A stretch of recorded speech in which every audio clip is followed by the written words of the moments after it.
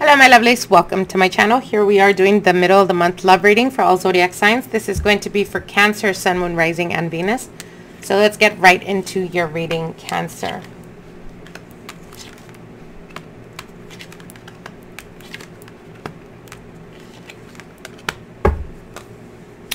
All right, Cancer.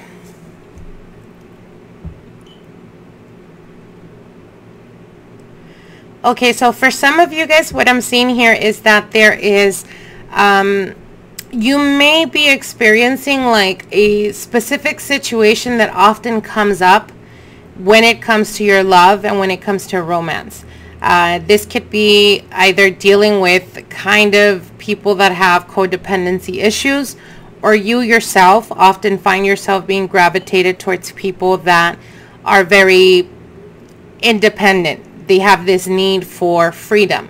Now, this could represent two different things. One could be that you tend to be pulled towards people that are very emotionally closed off, or uh, you have a codependency or a need, uh, not a need, sorry, that you're being pulled towards people that have a tendency to have issues when it comes to uh, trust issues more than anything. Uh, so what they're saying here is there is let your friends help you in the situation. Ask for help. Ask for um, and accept support from your friends. So I feel that for some of you guys, um, the majority of you have had some type of, like I said, issues in regards to being attracted to people that are uh, either emotionally closed off or that they have a lot of insecurity issues, or this could be you, Cancer, coming in uh, to this energy of trusting issues, things that perhaps in the past you felt like they let you down, or you can't really trust people because you've been hurt so much in the past. Um, but what they're saying here is that there is a need for you to be optimistic about your love life. Oftentimes, people, you know, have a tendency of saying, you know, yes, I'm ready for love but deep down inside there's fears. There's fears of either getting hurt. There's fears of what if this doesn't work out? It's just a waste of time. So it's about understanding the type of energy that you're putting out. It's like think of yourself as a radio station and the way you talk to yourself or the way you think is sending out signals. So if there's a desire to bring a long-term relationship to your life but you're also the next day putting out signals that you are unsure if you're even worthy or if you deserve to be loved or if you're so difficult to be loved, thinking very ne- negatively, you're sending out two different signals.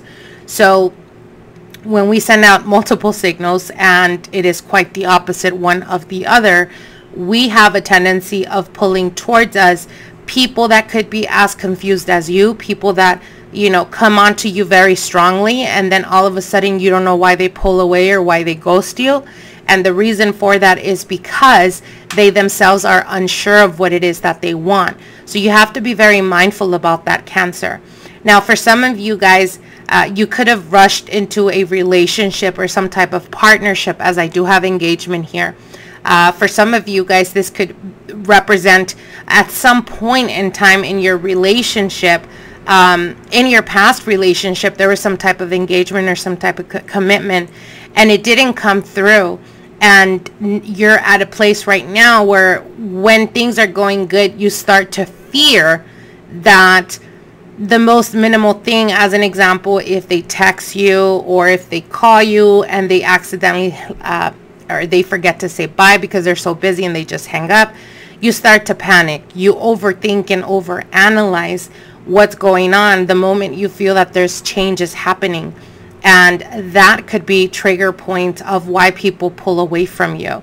It could be just the energy that you're evoking, that of fear of either being left or the fear of being alone. You know, some of us, you know, don't understand that when we fear being alone, and you think about this so often, that's exactly what your echo or sorry that's exactly what the universe is echoing back to you so then they pull away or bring to you people that are going to oftentimes walk away or, or not let the relationship progress. Why? Because, like I said, they're as confused as you are. So you have to be careful of the way you talk to yourself, Cancer.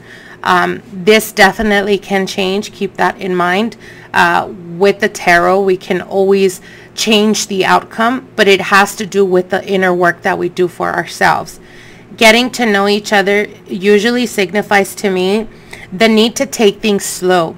So try the best you can when opportunities start to come in regards to love and romance, take your time in getting to know someone. Don't rush into things because when you rush into a serious relationship with the person that is not even sure if they want a relationship at some point in time, it's going to be like it, the relationship is going to take a halt. And then you're left feeling like I was right for thinking this way because in the past the same thing happened. So we got to change that energy in order to change the outcome. Now I'm going to be pulling out two cards and these are the energies that are currently influencing or affecting you. And we have your card Cancer. We have the Cancer card here. Uh, this is talking about feeling, feeling sympathetic, um, comforting, nostalgic, protective, intuitive, uh, birthing, tender, nocturnal, uh, caring, moody, receptive.